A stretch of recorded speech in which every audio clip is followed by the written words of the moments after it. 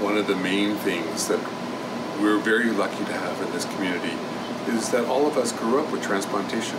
And so, yes, we maybe take it for granted, but everybody buys into the idea that uh, we can donate our organs and save many people's lives. And uh, in fact, we have one of the highest donation rates in the world, not just in Ontario or Canada, in the world.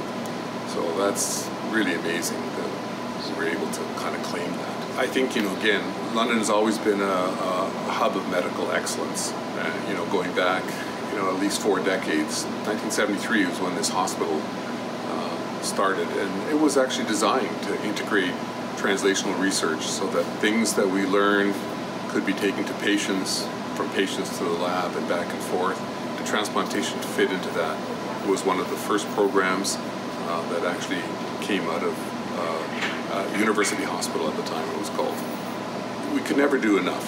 I mean, if, if we doubled our donor rate, there would still be people waiting on the list. And I think that's important to remember uh, that unfortunately, despite us being such a great transplant center and Canada being such a great transplant country, unfortunately, people still die on the list. And that's something that, in fact, is hard to accept. So we can do better.